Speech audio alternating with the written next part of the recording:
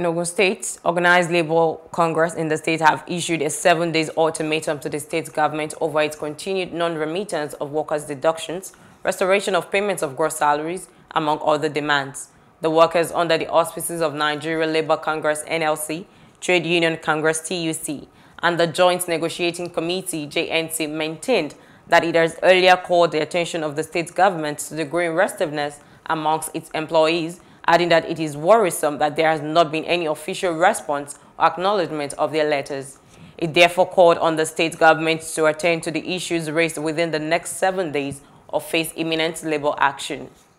Government has not remitted the amount deducted from workers' salary, nor add its own uh, percentage to that particular area.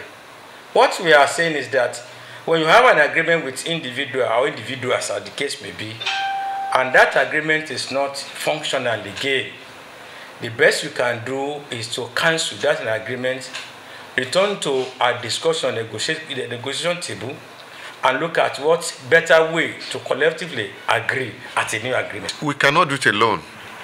It's a collective responsibility. And thank God we're in a democracy.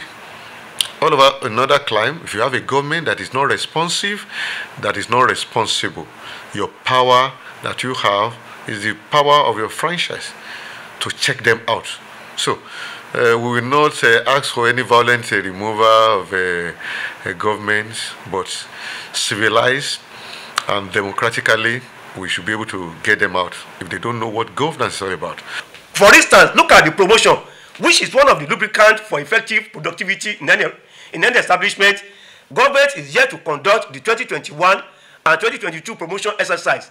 We don't want this to also spill into 2023, which is the election year with its own headache and pains. 2023 is going to be an election year, and definitely government will be too busy. We believe workers should be treated in a very decent manner so as to avert any industrial disaster. Please do subscribe to our YouTube channel and don't forget to hit the notification button so you get notified about fresh news updates.